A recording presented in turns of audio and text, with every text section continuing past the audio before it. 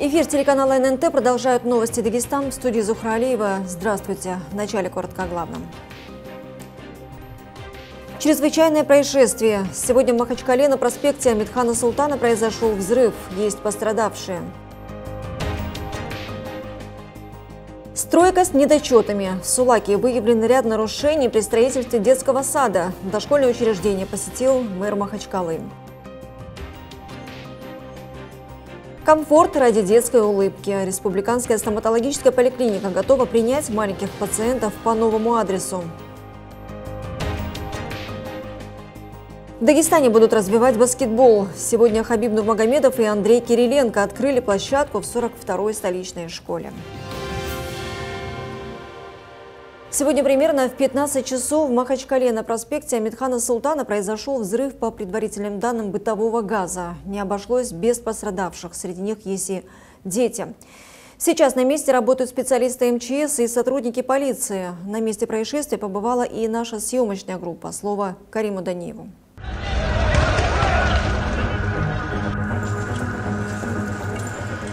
Один человек скончался, четверо детей пострадали, еще одного спасатели в данный момент продолжают искать под завалами. Очевидцы рассказывают, взрыв был такой силы, что в соседних домах выбило оконные рамы, а несколько прохожих взрывной волной отбросило на метры. Благо, никто из них не пострадал.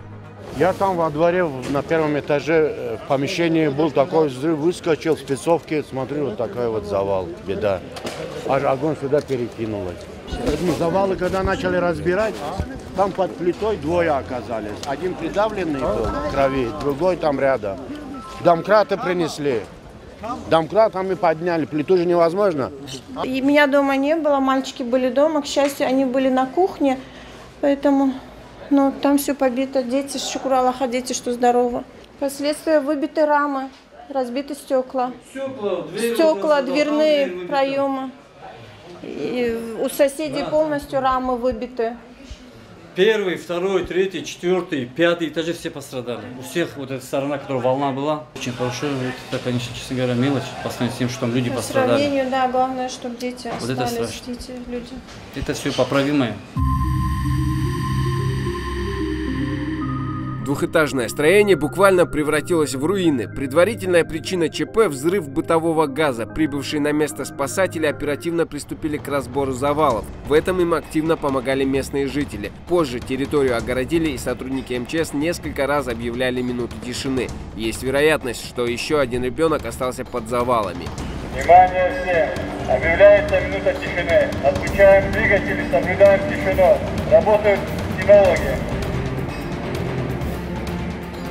15.09 по системе 112 поступило сообщение о взрыве бытового газа в двухэтажном многоквартирном жилом, двухэтажном жилом доме по адресу Амирхан Султана 3Л.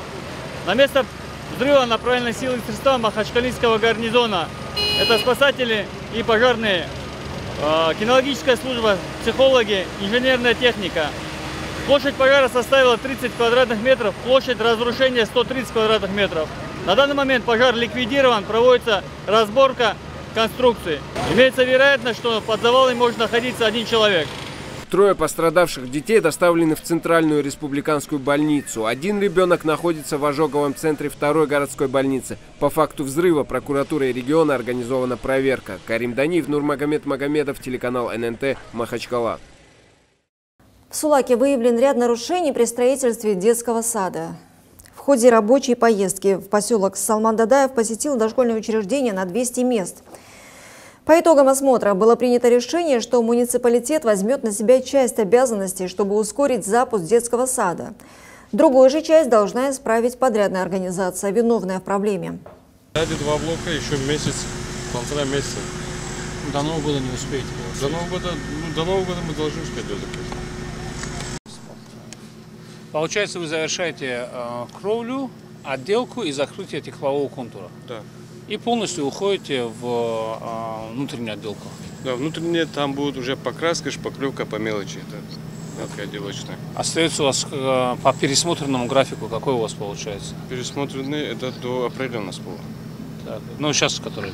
Нет, следующий 22 год, апрель. Ну да, э, вот э, Да, да, да. после того, как пересмотрели, у вас сейчас установили апрель 22 года. Да, да. а потом обычная на шее. Ну, Ну, хотя уже- здесь меньше замечаний. Готовьте весь перечень замечаний, преднадзоры и так далее.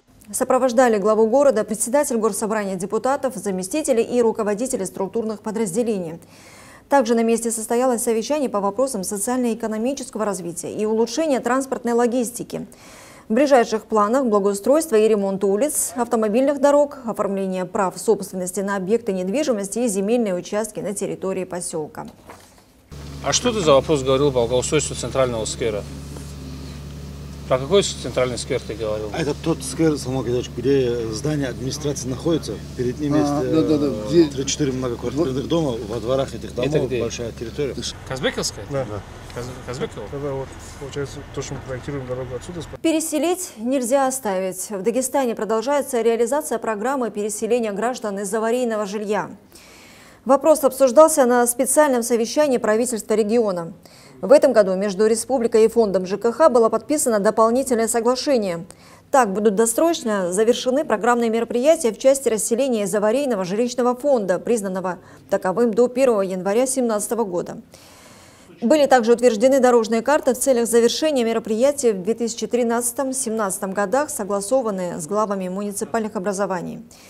С начала года в Махачкале расселено 11 семей, в Дербенте 17, в Избербаше – одна семья. Напомним, в Дагестане аварийными и подлежащими сносу после 1 января 2017 года было признано более 70 многоквартирных домов. Ресурсный центр развития добровольчества открылся в Дербенте. Он создан в рамках реализации федерального проекта «Социальная активность».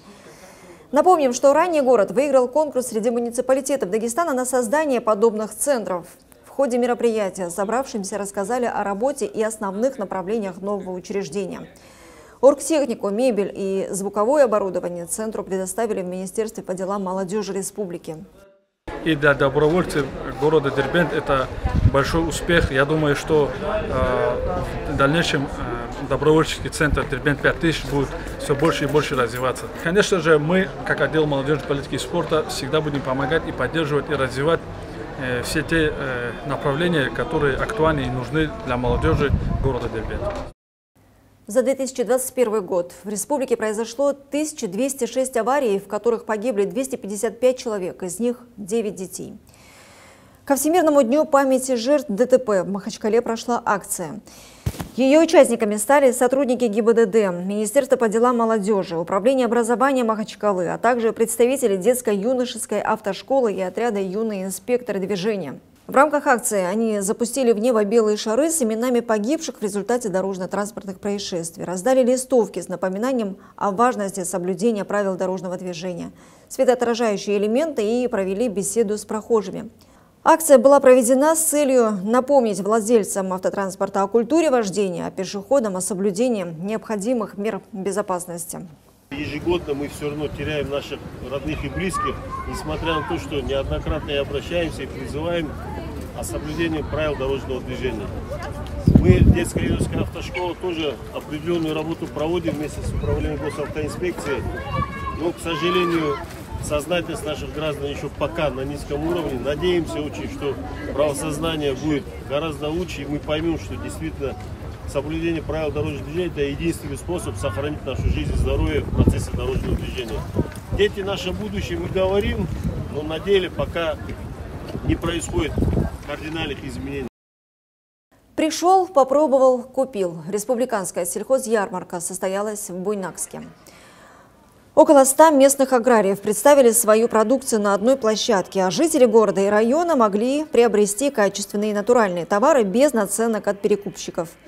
В Минсельхозе республики считают, что проведение подобных мероприятий – это один из способов сдерживания роста цен. Ведомстве заявляют, что сельскохозяйственные продукты в Дагестане по стоимости самые доступные в России. Наш основной рычаг – это оказание господдержки тем работающим сельхозтоваропроизводителям, отбор реальных и добросовестных товаропроизводителей. И в дальнейшем эту работу мы будем проводить и в других районах, и в других городах. И постараемся круглый год проводить эти мероприятия хотя бы раз-два в месяц. Детская республиканская стоматологическая поликлиника готова принять пациентов по новому адресу. Накануне состоялось торжественное открытие. К слову, изменился не только адрес лечебного учреждения, но и многое другое. А что именно, расскажет наш корреспондент Хамза Нурмагомедов. Новое помещение детской стоматологической поликлиники, что называется, радует глаз. И дело тут не только в свежем ремонте. На стенах известные персонажи из мультфильмов, в зале ожидания большой телевизор.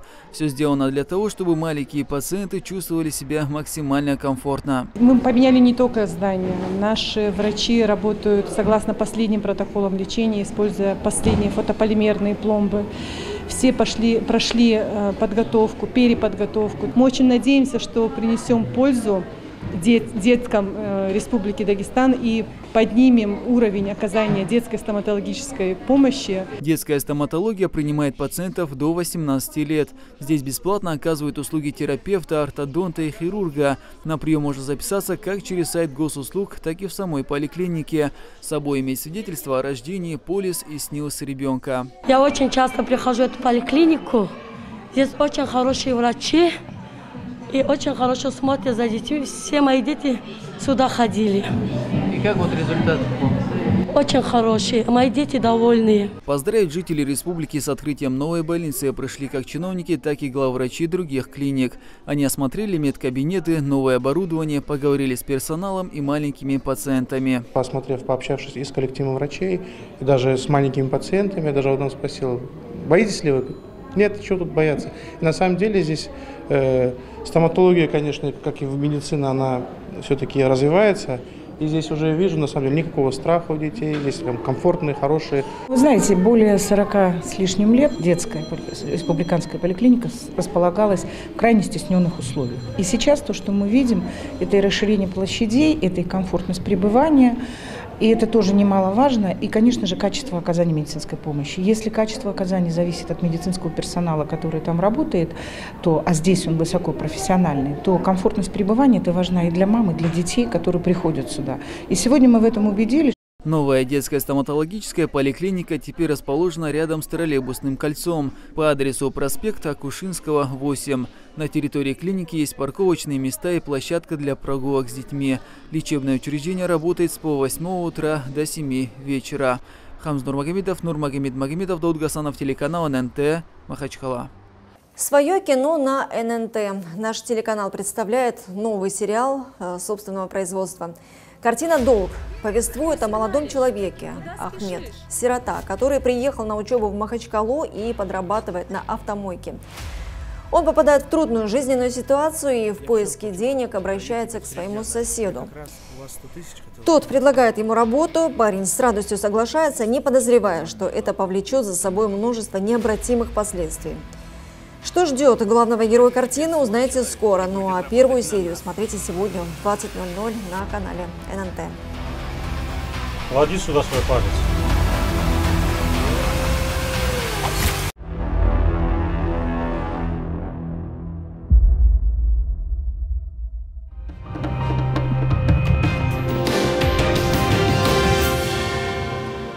О спорте. В Дагестане теперь будут развивать и баскетбол. Сегодня Хабиб Нурмагомедов и Андрей Кириленко открыли площадку в 42-й столичной школе. Известный в прошлом баскетболист ныне возглавляет Российскую Федерацию этого вида спорта. По прилету первым делом он сыграл в показательном матче со сборной колясочников. Кириленко пообщался с командой и сделал памятные подарки. После баскетболиста вместе с экс-чемпионом UFC Хабибом Нурмагомедовым посетили площадку, построенную фондом Кириленко еще в сентябре. Здесь на небольшой территории расположены корт для игры в баскетбол 3 на 3, октагон для спаррингов, а также зона для воркаута. Мы, как дагестанцы, мы любим не только борьбу и единоборство, смешанное единоборство, а также и мы любим вот командные игры. Если у нас будет развиваться этот э, вид спорта, я считаю, что мы можем достигнуть успехов, больших успехов в этом виде спорта, потому что даже вот здесь фотка есть, как двое играют в баскетбол, это тоже единоборство. Смотрите, они борются за мяч, а бороться мы умеем. Хочу огромное спасибо сказать вам всем и Хабибов в особенности, потому что вот эта площадка, которая здесь построена, в ней есть огромная часть и заслуги Хабиба, потому что уже в течение трех-четырех лет он помогает подписывать различные вещи с автографом. мы их продаем, и, естественно, на эти деньги есть возможность строить такие великолепные э, площадки. Дагестанский футболист Гамид Агаларов продолжает голевую серию. В последнем матче в российской премьер-лиге он забил в ворота Ростова два мяча на 15 и 57 минутах.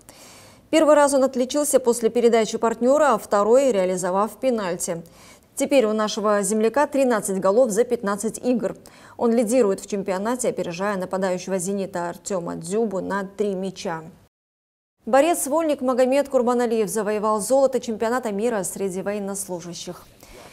Турнир в эти дни проходит в Тегеране. Дагестанскому спортсмену не было равных в категории до 74 килограмм.